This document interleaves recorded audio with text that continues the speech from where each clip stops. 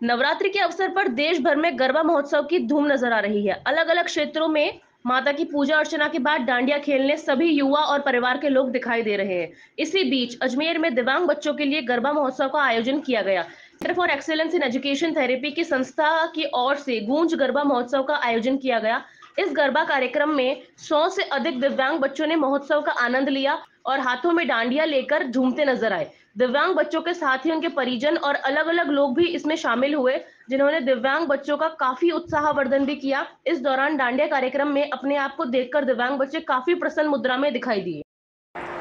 आज अद्वैत सेंटर जो दिव्यांग बच्चों के लिए काम करता है, विशेष रूप से जो छोटे दिव्यांग बच्चे हैं, उनके लिए काम करता है। यहाँ हमने डांडिया महोत्सव का कार्यक्रम रखा। इसको हम लोग गूंज प्रोग्राम का नाम दिया है।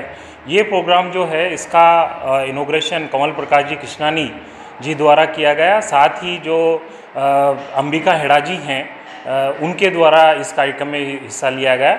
ये विशेष कार्यक्रम है, इसके अंदर जो दिव्यांग है, करीब सौ से ज़्यादा दिव्यांग और उनके अभिभावकों ने इस कार्यक्रम में भाग लिया है।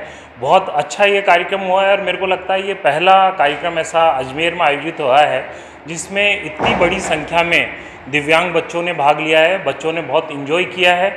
और ख़ास तौर से क्योंकि जो माता रानी का यह उत्सव है ये हमको मिलकर साथ मनाने का एक संदेश देता है। हमको ये देता है कि हर व्यक्ति में एक उत्साह उमंग होनी चाहिए जीवन में आगे बढ़ने के लिए। तो वो बच्चों ने हम सबको ये प्रेरणा दी है।